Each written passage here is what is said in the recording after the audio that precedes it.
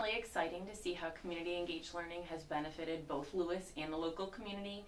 When I have opportunity to talk with students who have taken community engaged learning courses, some of the things that they lift up are things like uh, getting a chance to really explore an environment where they're um, applying what they learn in the classroom.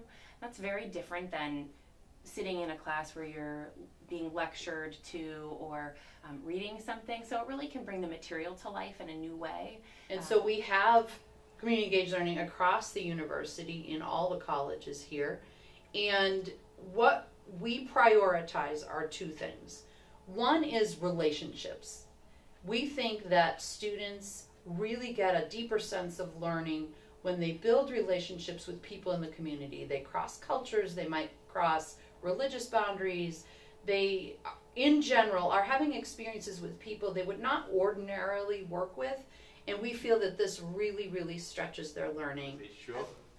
We're a youth outreach organization that does mentoring and support for middle school and high school students uh, in the Bolingbrook and Romeoville area. We have programs throughout the week like support groups, mentoring, tutoring, recreational activities, service projects, as well as going into the school and helping uh, behavior and social emotional needs.